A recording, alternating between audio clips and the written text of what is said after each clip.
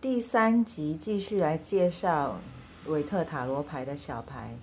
那一号到十号，现在画面上看到的都是一号，那表示事情的开端。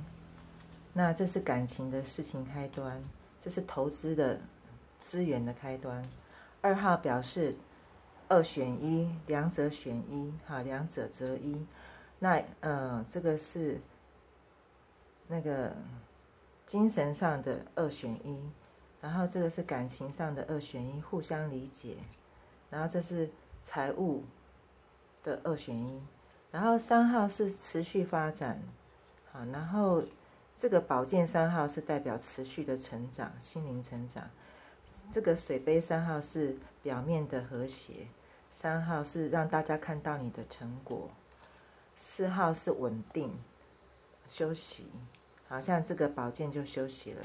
然后四号是还在考虑要怎么处理，然后这个是有四号是有土角星是有所守望的事，五号就开始要争取心里想要的东西了。然后为了要赢不择手段，然后有一些水杯呢已经弄倒了，然后你必须要度过寒冬。然后六号就是成功。代表狮子座，然后这是水瓶座、宝瓶座，哈，那这个是科学，慢慢的度过危难。然后这个是代表天蝎座六号，是跟前世记忆有关。这个是六号金牛座，哈，它是互相的依靠。然后七号是持续下去，那这个就是想办法成功。